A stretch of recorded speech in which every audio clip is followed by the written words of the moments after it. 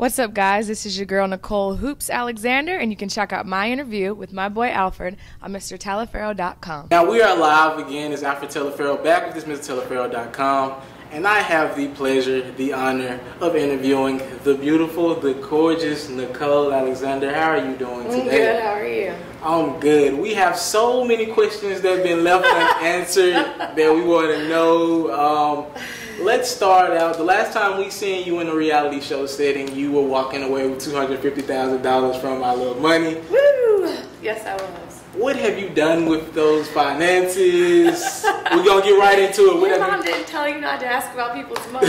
I'm just kidding. What have you done with the two hundred fifty thousand that you received being the winner I of? spent it very wisely. Uh, I actually invested a lot of it so Mm-hmm. we could keep on going and help the family out. And Mm-hmm. also, I like to travel and eat. So I've been a few different places and just, I've, I mean, enjoying myself, living life. Just living lavish. Living life. like. Um, now for you, you live in the Knoxville area. How long have you been here?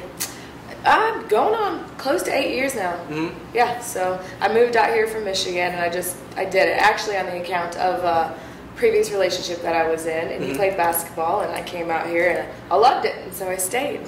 Now, speaking of basketball, I, I remember from the, the Flavor of Love days, you're a bit of a hooper yourself, I right? am. That's how I got the nickname Hoopz. Do you still play basketball to this? For fun. I'm getting old. just kidding. You probably could still go out and beat me, but that's another topic for another day. Yeah, I I, uh, I do some celebrity events, basketball games and stuff like that. And for the most part, just take the kids to the park, play. But it always turns into a tournament there because everybody wants to play.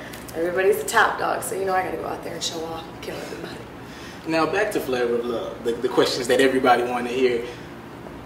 Now, do you keep in contact with anybody from the show? Anybody? Not in particularly that show, Mhm. but I Love Money made so many like I think connections forever. Um, me and Ahmad, Mhm. real, we're very very close. Um, I still keep in contact with Joshua, that's white boy, and pretty much I mean that's that's really about it that I'm in constant contact with. Real and Chance were Yeah. two of the characters that There still. are characters What, in real life as real- well. what are they up to? You, you, you say you still They're working on. They got a few projects going Mhm. too, or whatever, and we just wish Ahmad the best, or whatever, as he's uh, getting over his sickness, and Mhm. you know he was diagnosed with cancer, so he's been fighting. Now, any memory from you from the show that sticks out with you, that lasting memory that you have? Well, which show? Flavor of Love, I Love Money, either of the two. Either of the two. You know what? I mean, Flavor of Love was such a turning point in my life. Mhm. And Flav told me, he said, Nikki, this is going to change your life. And I didn't know what he was talking about. I had no idea. I mean, and sure enough, and once, you know, I ended up winning, um, it was just call after call. And then people, hoops, hoops, hoops. And I'm thinking, like, what the? He told me, he said it would change. You know, I just didn't know how. I mean, I was kind of, this wasn't something I aspired to do. I was blessed and I was put in the right position. And then everything started to happen. So that's the difference with me. And I've just, I've rolled with it. Now, um, how did like just changing your life? You said it changed your life. Now, how do you you go from just being a Yeah. a calm girl, Yeah. you know, just I believe on the ranch you, you lived. Yeah. Um, how do you go from there, just being in the limelight? How do you make that adjustment? 'Cause that's a big adjustment. It's a very big adjustment. It was very difficult at first because you're literally just you're thrown out to the wolves, Mhm. and that's essentially exactly what it is. And so, I mean, I don't know. I think it just depends on the type of person you are, um, your life experiences anyway, and you know, this is what I've learned. You can have everything and anything, and you can go from nothing to having everything. It only makes you more of a person than you really are. So if you got a big heart, your heart becomes even bigger. If you're an asshole, you just become a bigger asshole. So you know, everybody's like, you take it well. It's my job. I'm I'm a public figure, so um, I'm happy about it and I'm blessed that people are like, hoops, hoops. Today, I'm still like, how do they remember that? You know. but we had a top hit show, so That was the show. I yeah, it started in the day. everything. Mhm. It Yeah. started this whole love and hip hop. Yeah, so you, I, I get to say I'm an OG. you always. OG. OG. now wait, wait, wait, wait. Speaking of love and hip hop, since what do you think about reality shows today? Because they kind of are all spin-offs of. They are. Everything has completely just spun off from what we started. Um, I don't watch much because I'm so busy doing so many other things, and um, I mean, I don't know. As you know, I, I just announced that I have a, a brand new show coming, and for me, it's just more focused on family and um, uh, happy times, like the happy things. Of course, there will be drama, but you know, it's it's real life drama that happens. Not not drama where I'm gonna take this water and throw it in her face to see what happens. That's I don't know. Never again when you go down that, that lane of the reality, the not the reality, but like for contest type. You, are you done with that phase of your life? Yeah. Now I'm just more focused on doing my own. Mm. you know, you just you got to keep going this way. Now I've seen um the a video on YouTube of the family, uh, mm-hmm. a Christmas video, I believe. You yes. guys were oh yeah getting down all day, every day. It's like never a dull moment. We're always making up stuff, and we just decided like, hey, let's just put it out there. And that's how we are. And that's only four of us. There's six of us. Really? And all yeah. six will be on the show, correct? Yes. Okay. We are excited for the show. If y'all got to ch- get a chance, check out that YouTube video on the Nicole Alexander's YouTube page. it's wild. Now, a boutique in Knoxville. Why a boutique? Uh, why not? Um, I like to travel. Well, when I do travel and I do my appearances and things, like it's hard for me to find an outfit that I can just get on the plane and go. Mm-hmm. It's hard. So I was like, you know what? Let me bring some of the different styles that I like to wear, love to wear, and some of my event dresses. I'm gonna bring them right here because I have a lot of friends here too and say the same thing. I'm like, you know, I'll just I'll start a store. You know, it, and I've.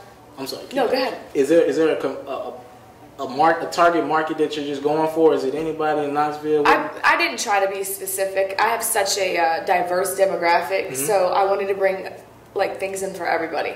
So I can hit anywhere from 18 to 40s. You know, it doesn't even matter. Are you branching out? Is this the only boutique we're going to get? Can we expect more in the future? Um, yeah, I would like to say I would love to start with in Nashville and then go to Atlanta, all the surrounding areas. You know, I, am looking to do a men's store. I already do men's suits, mm. so yeah, just keep on going. Now, I'm not the biggest fashion guru, but do you mind taking me around this beautiful boutique we have here today? sure.